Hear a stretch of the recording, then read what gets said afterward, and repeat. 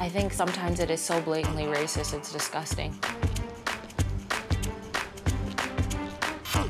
No black girls allowed on a lot of the breakdowns for castings or things like that. Like, we're not looking for black girls, we want white girls only or brunette white girls.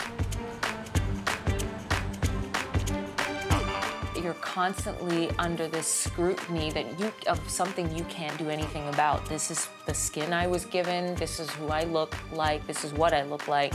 You know, I'm sorry.